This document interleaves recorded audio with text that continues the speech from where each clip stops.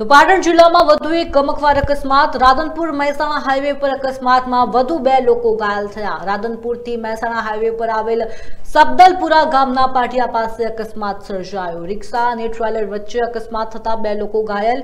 ઘાયલોને એકસો આઠ મારફતે સારવાર માટે રાધનપુર રેફરલ હોસ્પિટલ ખાતે લઈ જવામાં આવ્યા હતા.